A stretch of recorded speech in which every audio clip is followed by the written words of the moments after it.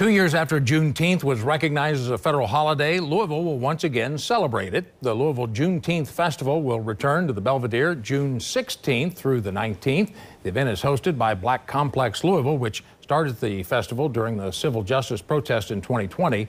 The four day celebration will feature more than 70 black owned businesses, live music, food, vendors, and more. When we consider what Juneteenth is all about, it is the celebration of freedom. But each and every year, I believe it's necessary that we consider and reconsider what that freedom is all about. We have more details about Louisville Juneteenth Fest for you on WLKY.com and our free mobile app.